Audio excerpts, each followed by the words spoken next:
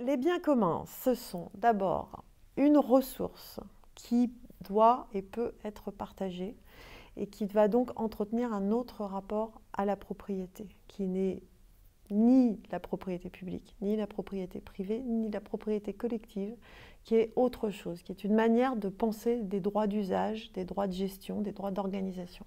Ça, c'est la première chose. Et cette ressource peut être matérielle, immatérielle, peu importe.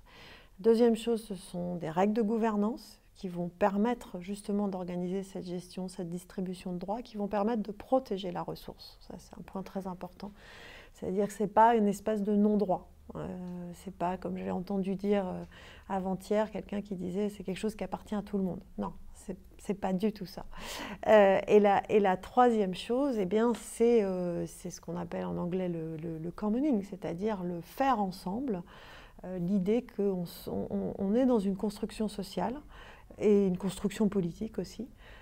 donc c'est une manière de faire de la citoyenneté autour de cette ressource en créant de la règle, en créant de l'organisation et en, en, promouvant à travers ça, en, on dit, en promouvant euh, en même temps euh, une autre manière de faire société. Il y a aussi l'idée quand même de transformation sociale derrière les communs, en tout cas aujourd'hui.